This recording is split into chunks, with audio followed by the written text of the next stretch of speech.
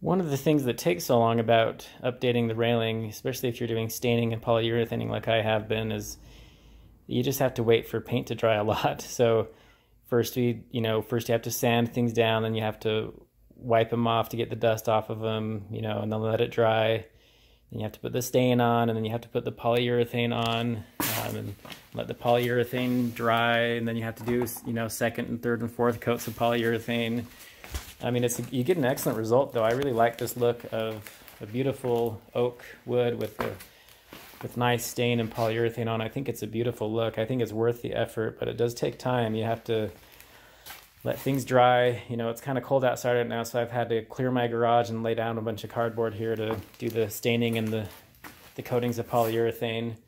So I'm just waiting for these top caps to dry, but um, I've got these other pieces ready to go, and they're they're looking great. I'm I'm excited about how they turned out. I think they're going to look very nice.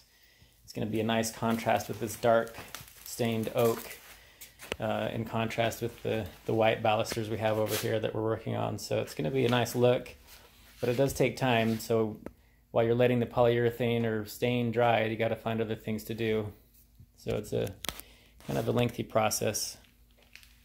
The, uh, the stain manufacturer recommends that you wait 72 hours before you put polyurethane on it. So I had to stain these all these different railings and top caps and things first wait for like three days and then put the polyurethane on and then the polyurethane manufacturer says you can put two coats of polyurethane on in 24 hours then you have to wait 24 hours sand it and put another couple coats on the next you know the next day so you know even if you have things spaced out perfectly it could take you you know three days for the stain to dry then two days for the polyurethane to be done so you're looking at like five days at least even if you have things timed out perfectly if you have everything ready to go to stain and polyurethane the fastest it could go if you follow the recommendations of the manufacturer could be about five days or about a week. So it takes some time to get these the staining done. Um, and the good news is, is this has given me something to do. My neighbor's been helping me build the uh, the, the the baluster or the uh,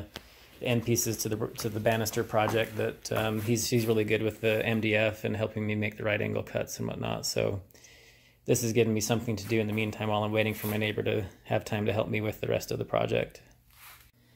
So I'm going to put a final coat of polyurethane on these top caps, those two top caps there. I'm going to be using, I'm going to use uh, just, we have this floor polyurethane that I've used on our wood floor. We still have some of it left. I want to use it up so it's not just drying out in the garage here for months at a time. So I'm going to use up what we have here. This seems to be a good polyurethane. Uh, I'm sure there's probably better products out there. This is just what I have in my garage, and it, and it seems to be working quite well. I'm doing at least four coats of it, and it's looking, making things look nice. So we'll put a final coat of polyurethane on these top caps. I like using these foam brushes. They just tend to help the polyurethane go on evenly. And if they get ruined from the polyurethane, it's a very inexpensive, you know, 50 cent brush. So I like to take the top cap and start on the bottom and I know that the bottom's not really going to be exposed, but there's going to be a little, maybe quarter of an inch exposed around the edges here. So I'm just going to put a little coat of it there. And then I'm going to go around the sides. Sides of the, the top cap here. Um, just to thin that out a little bit in the middle too, actually. Just try to thin that out a little bit. I don't want a real thick coat on the bottom because I'm going to be flipping this upside down. And what happens when you flip polyurethane coated anything upside down, it's going to form little drips and that will form little thick areas where the polyurethane is too thick in a little bubble spot as it drips down from gravity pulling it downwards. So I just want a very thin coat on the bottom here. You don't need much. And then go around the sides. Yeah, ease up some of this to thin this out on this other piece here flip this over carefully.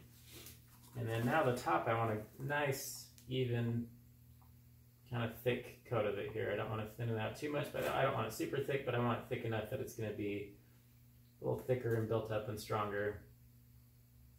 I did do a, uh, I have already done three layers of polyurethane and I sanded in between the last layer I did. This is just our fourth coat, probably the final coat I'll do on these. So I'm just getting a nice, even, thick layer And then now that looks even, I'm to stop brushing it because it looks good. Just to make sure these sides are smooth, don't have big blobs of it or don't have thin spots.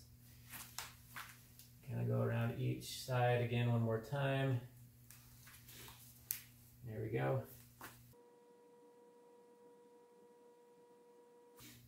using these little paint drying triangles you can get at Home Depot or Lowe's. They just, you can set stuff on top of them and that way there's only two little points where there's something touching the, the polyurethane or the paint that you're using. Oh, and for the sandpaper in between coats, I used a 400 grit sandpaper, just a really light sand. You don't want to go crazy with the, the in-between sanding step because the water-based polyurethanes, they do recommend that you sand in between coats, but um, it just needs to be a very light sanding. You're just trying to remove any little rough edges. You don't need to create scratches for it to stick. I mean, you can, you'll do that anyway when you do the sanding. You're just doing the sanding so you get a really smooth finish so that there's sometimes as this polyurethane dries, there's little particles of dust in the air that settle onto the polyurethane as it dries, and it creates little tiny, you know, rough bumps on in within the within the surface of the polyurethane. So when you're sanding it, all you're doing is trying to get rid of those little uh, sand, those little areas of sand or dust that have accumulated on the polyurethane as it dried, and getting rid of those rough surfaces. Um, so that's that's the only reason you're sanding. You don't want to take off your, if you sand too much, you're going to take off your layers of polyurethane that you've already put on. And so you don't want to over sand it. You just want a very light sanding with the really fine grit sandpaper. And it's going to make it kind of look frosty as you do that. It's going to create little micro scratches that you can see. So it kind of makes it look uglier when you, it kind of made me nervous doing that because I already had a really nice finish after doing two coats of poly that um, if you, you know, after that, if it looks kind of rough, it kind of makes you nervous. But it, but then when you put the final coat of polyurethane on, it looks fine. Those little scratches disappear as the the new coat of polyurethane fills in those little scratches. So you, you do want to sand in between uh, coat. The the water based polyurethane says you can do two coats uh, within 24 hours. You want to wait for the first coat to dry for one to two hours until it's you know pretty much dry, but not. You don't want to wait six because if you wait six hours, then it says you're supposed to sand in between. So you don't want to wait too long, but you don't want to uh, do it while it's still wet either, because if you try to put a second coat of polyurethane on while it's still wet, it's just going to smudge and smear, and it's uh, you're going to get rid of the glossy, smooth finish that you want with polyurethane. So this is a semi-gloss polyurethane. I kind of like the glossy look on the railing, and so I use a semi-gloss polyurethane here on the floor and on, on this. So now I'm just doing going around the sides like I said before, make sure the sides look good, and then get the top nice and evenly coated. Try to eliminate any areas where there's big blobs of polyurethane there. So I think we're looking good.